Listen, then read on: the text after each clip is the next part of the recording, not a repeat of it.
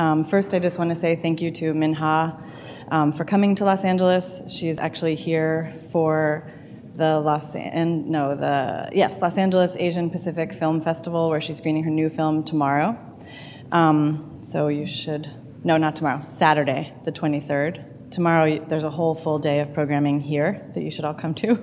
Um, so it's a huge honor um, to have Minh-ha here, and I'm so happy that she's here. And this is such a lovely um, group of people, and I appreciate all of you coming. Um, there's something I've been thinking about this as I'm like very scared and don't like to talk in public, but there's something um, really like literally moving about what happens when we get together um, to attune to one another, to attend one another.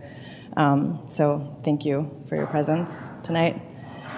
Um, I'm going to do the thing where I read um, bios and tell you a little bit about all of the amazing things that um, Trinh T. Minh-ha has done and written and made. Um, but I wanted to begin first, actually, with her voice from uh, Woman Native Other from the beginning of that text, um, just to give you a sense of what that sounds like. Okay. The story began long ago. This is the world in which I move, uninvited, profane on a sacred land, neither me nor mine, but me nonetheless. The story began long ago. It is old. Older than my body, my mother's, my grandmother's, as old as me, old, spontaneous me, the world.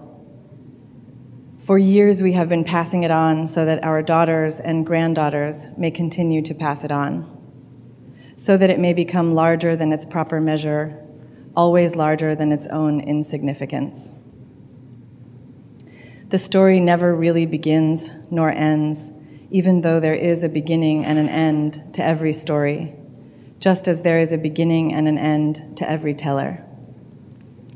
One can date it back to the immemorial days when a group of mighty men attributed to itself a central, dominating position vis a vis other groups, overvalued its particularities and achievements, adopted a projective attitude toward those it classified among the outgroups, and wrapped itself up in its own thinking, interpreting the outgroup through the in group mode of reasoning while claiming to speak the minds of both the in group and the outgroup.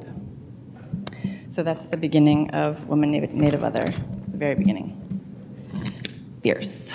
Okay. So Trinh T. Minh-ha is a filmmaker and a writer, a composer, a questioner, a listener, a thinker, a maker in words and images and sounds. She teaches at the University of California, Berkeley in both the departments of gender and women's studies and of rhetoric. I think it's fair to say that for someone who values so much stillness, quiet, slowness, she is unfathomably prolific. Her books include a forthcoming volume entitled Lovecidal, Walking with the Disappeared, which comes out actually hopefully next month um, through Fordham University Press. D Passage, The Digital Way, Elsewhere Within Here, The Digital Film Event, Cinema Interval, Framer Framed, When the Moon Waxes Red, and Woman Native Other. She is the maker of eight feature length films, including Forgetting Vietnam, which is this film that we'll be screening on Saturday at the Los Angeles Asian Pacific Film Festival.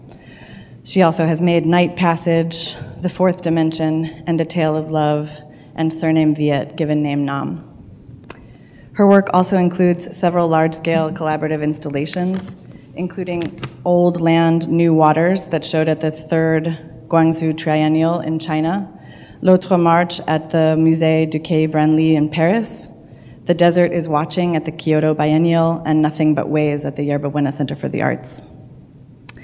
She has received numerous awards, including the Wild Dreamer Lifetime Achievement Award at the Subversive Festival in Zagreb, Croatia, the Lifetime Achievement from the Women's Caucus for Art, the Critics' Choice Book Award of the American Educational Studies Association for Elsewhere Within Here, Trailblazers Award at the Cannes International Documentary Film Festival.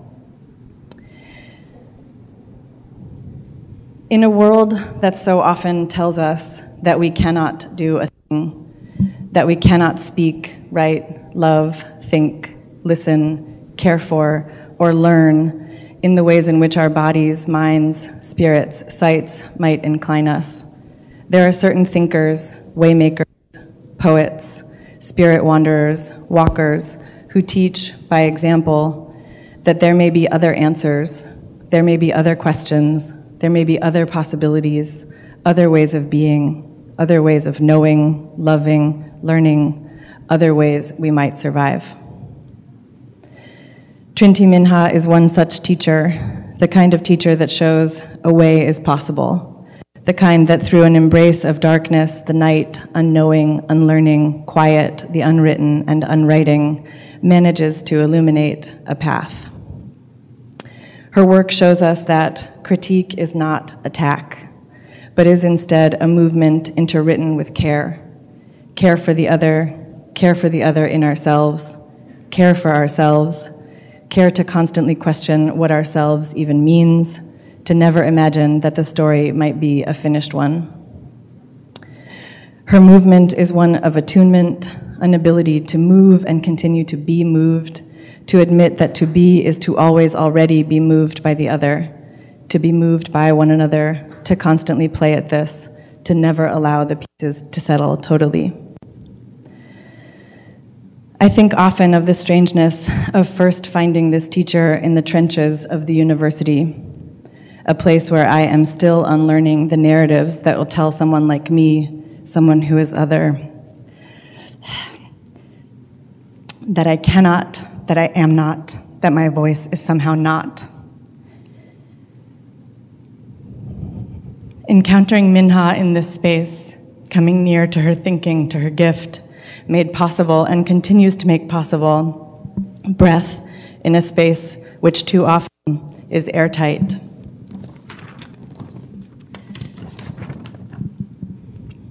One afternoon, in what must have been an, an, afternoon 10 years ago or more, I was struggling with the weight of having to write a dissertation. Now beginning to see the intricacies of what exactly this weight was, of its many entangled historical threads. I found myself already three years later than what I should have been, um, than actually what is so violently called normative time. Um, in Minh-ha's quiet office with the lights off, afternoon sun paling outside. In the quiet of that space, she asked me, But Leticia, why are you writing this? As many graduate students have been trained to do, I began to perform isms and jargon spilling from my mouth. No, no, she said. She stopped me. Go away and ask yourself, why am I writing this? What is the story here that has not been told? This may take some months, she told me, and you do not need to write the answer, but you need to write from that place. And if you cannot find the answer, you need to write of something else. I'm still growing in to all that Minh-ha teaches, and I am so honored that her teaching brings her here tonight. So, thank you. Um,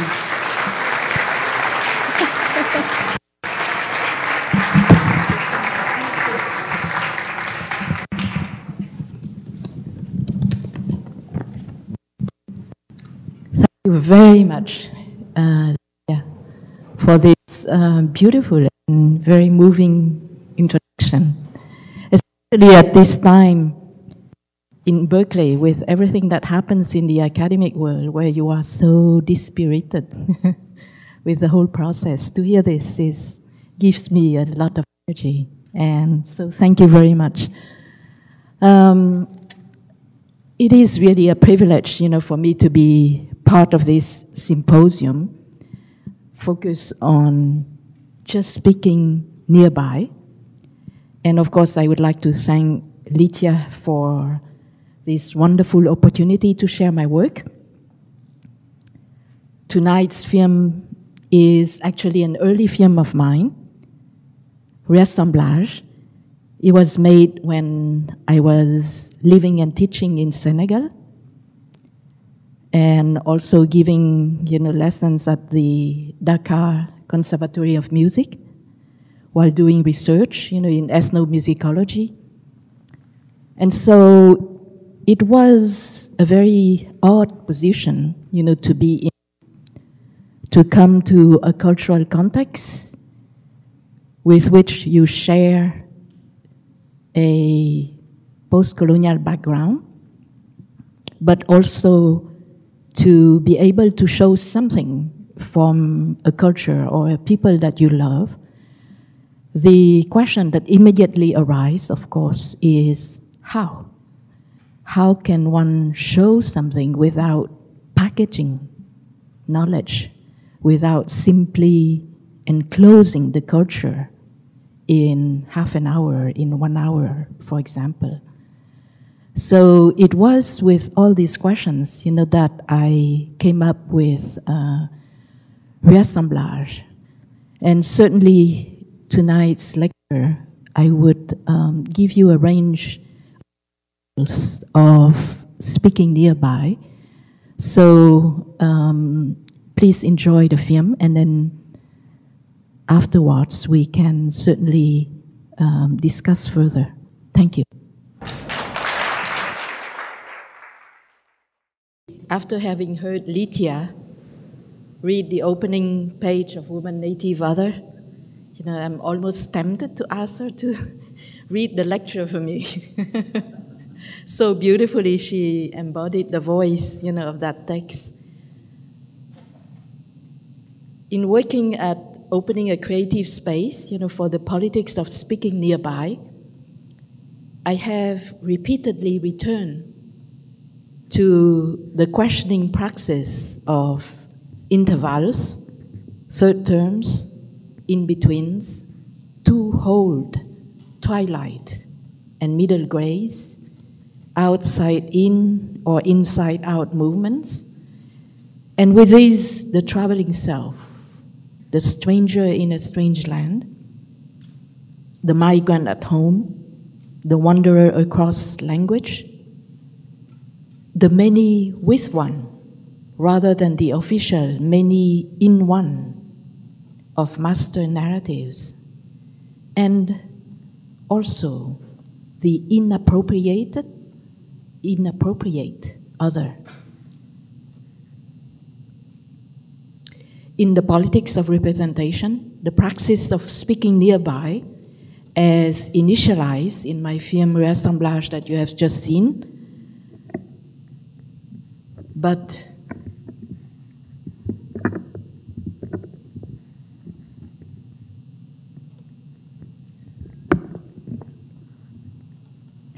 but realize in all of my work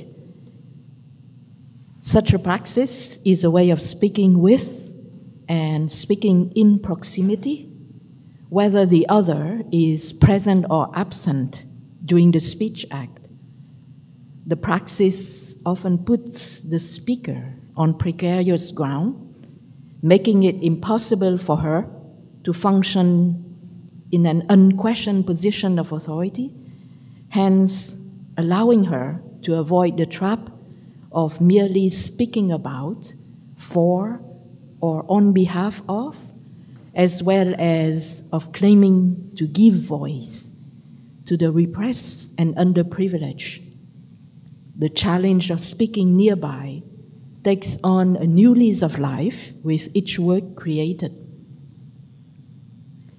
Nearness as manifestation of the infinity,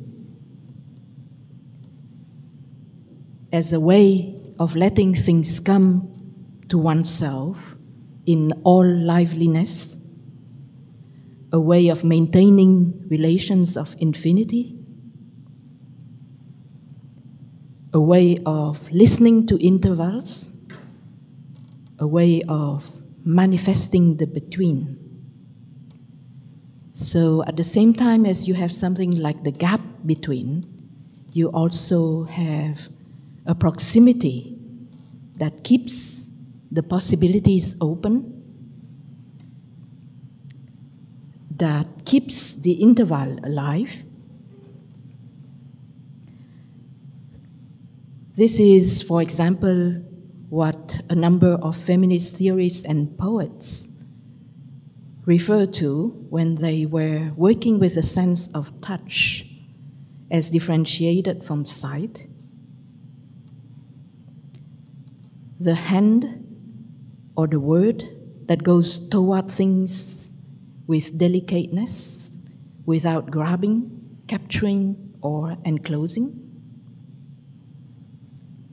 And some of the relations, you know, that I would be touching on here, because there are many of them that we can discuss or bring in, but I can only touch on some of them here. And for example, it would be the relation between the verbal and visual, between words and image, not only within the film, but also between live reality, camera and screen, or between film subject, filmmaker, and film viewer. The relation between musical, the musical, the visual, and the verbal, or between ear, eye, and hand, how to show, how to tell, how to write, with what voice, how to approach a work, who's speaking, and hence who's listening. Each work present a new challenge. And I have a number of examples that I have done in the past, such as in the book Elsewhere Within Here, there is, you know, um, there is a piece that is a chapter that is called Far Away, comma, from Home. And I still remember when I first wrote that piece, the uh, publisher in Germany um, published it but took out the comma. So rather than far away, comma, from home, the publisher published far away from home. So you can immediately see the transformation. So I was not interested in being far away from home, but I was very interested in being far away and from home. You know, the two hold. And so when I publish it again, you know, in Elsewhere Within Here, I have to put another title underneath, in parentheses, the comma between.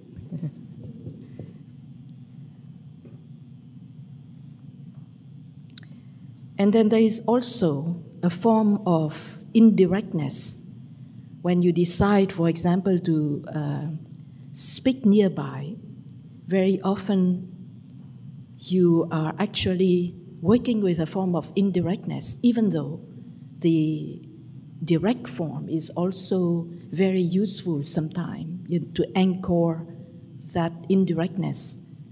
But here is an example that um, came out as I was very inspired by the work of um, Birago Diop, you know, the African writer Birago Diop. So this piece is called Mother's Talk. The most stupid of all animals that fly, walk, and swim, that live beneath the ground, in water, or in the air, are undoubtedly crocodiles which crawl on land and walk at the bottom of the water, and this for no other reason than that they have the best memories in the world. Close quote. So, this is how Senegalese poet and storyteller Birago Diop begins the tale of Mother Crocodile. This is how he recounts the narrative of his elders, which he ascribed to another teller, the griot, or storyteller, singer, and genealogist, Amadou Koumba. And to complicate matters further, this is also what Amadou Koumba said he remembered from another teller yet. For that is not my opinion, said Amadou Koumba. That is what Golo the monkey says. And although everyone agrees that Golo is the most coarsely spoken of all the creatures, since he is their griot, he sometimes manages to make the most sensible remarks, so some say, or at least to make us believe he has made them according to others. Close quote. So talking here brought the brought three male identified voices together while deferring their unity. The story presents itself as a piece of gossip that circulates from teller to teller. The man who narrates, Diop, implicitly warns the reader that he is quoting Amadou Koumba, who actually got it from Golo the monkey. Right at the outset, the question is raised as to the real source of such a gossip. If the reader can't really tell whether Golo makes sensible remarks or whether he simply takes the lead in making people believe that he is the one to have made them, then whose opinion is it exactly? As the tale progresses, storytelling becomes increasingly reflexive, and the reader is further led to ask who among the tellers is the real monkey? So um, this is, you know, for me also another way of maintaining that relation of infinity in telling. And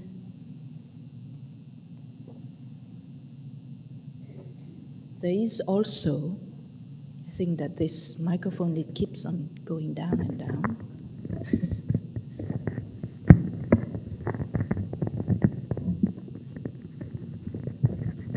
I can just take it out. Yeah, that would be fine, yeah.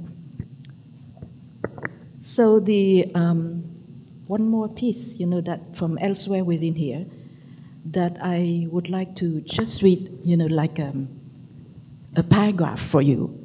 And it's a piece that is called White Spring, and it was written in relation to Theresa Hak Kyung Cha's uh, work as some of you know, she's a performer, is a performance artist. She's also a filmmaker, a video maker.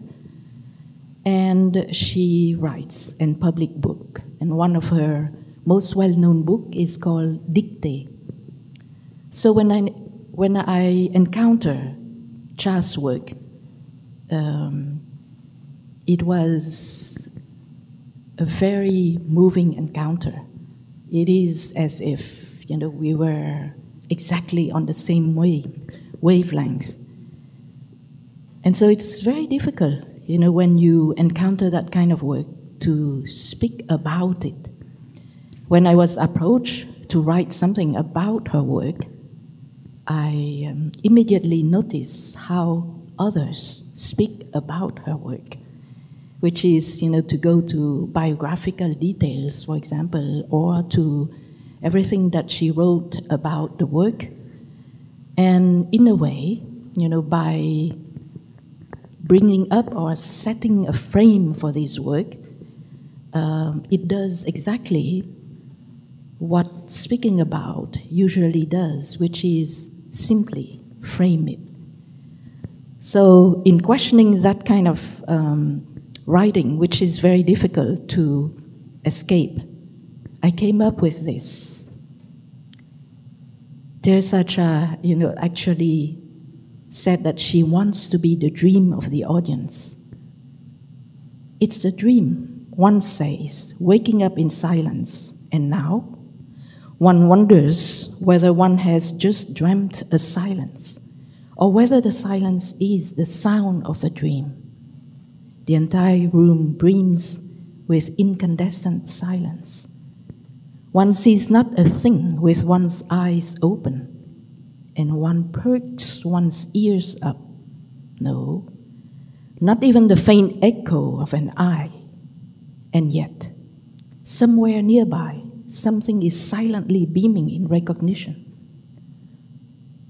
try to frame that beam into visibility, and it will quickly fade out from you. Try to touch it, even with the darker hand, and soon the lighter hand, yearning for proof, will reach out in earnest, depriving it of its freedom to disappear. Protective and well meaning, perhaps the hand merely forgets to draw back in time for the radiance to flare up on its own.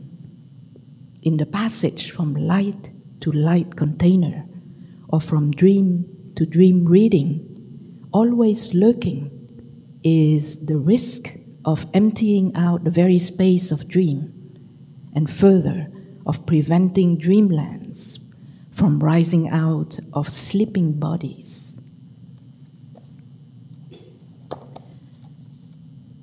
And here is also um, the opening of cinema interval, since I was really working with the notion of interval in cinema, but also that relation between text you know, and image. The relation of word to image is an infinite relation.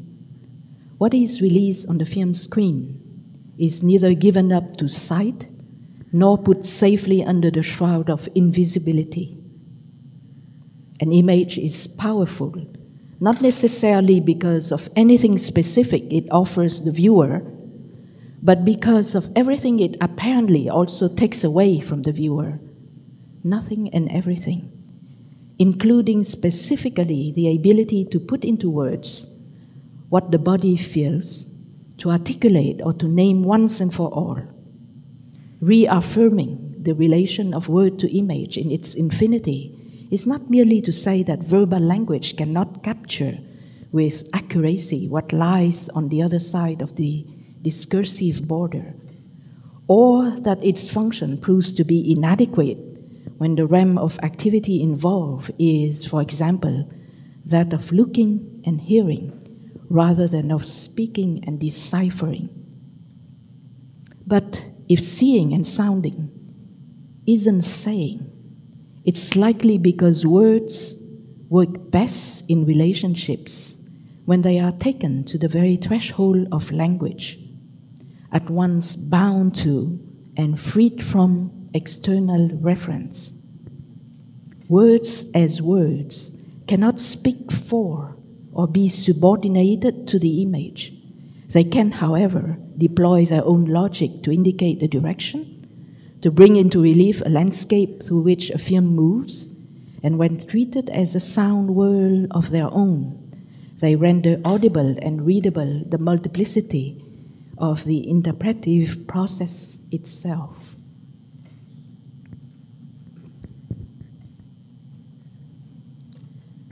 So actually, you know, what you have here would be um, a lecture that can be viewed as an example of speaking nearby my own work, you know, since it's not always possible to respond to a lot of expectation of speaking about your own film. You know, what one can come up with is, for example, Nothing is more conventional than an approach to politics that is aimed at the most obvious location of power, the head of state and other personalities of the body politic. But for me, politics permeates our everyday. It is the dimension of one's consciousness in being. The distinction offered between making a political film or writing and making films politically helps to widen the scope of the political, freeing it from the domain of economics and of body politics. The implied refocus on the caliber of consciousness in the making process or on form as inseparable from content serves as a reminder of how works featuring progressive actions can ultimately prove to be regressive in their unquestioned replication of structural relations of power. As the feminist struggle used to voice the personal is political. Not because everything personal is naturally political, but because everything can be politicized down to the smallest details of our daily activities. I am reminded here of the Palestinian poet Mahmoud Darwish, whose first reaction when coming out from a blast that destroyed his house and his home was to affirm his need for coffee and hence for writing. Rather than dwelling on the loss, he affirms life through his yearning for coffee and for writing. And rather than railing against the oppression of his people through violent and bloody events that have become part of their struggle, he wrote beautifully on bread and water, the two basic elements of life largely denied to his people.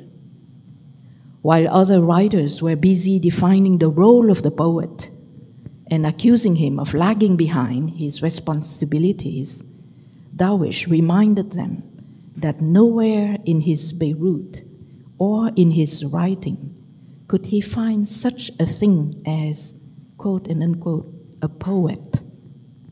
For him, there is no Beirut in Beirut. Power relations lie at the core of normative representations.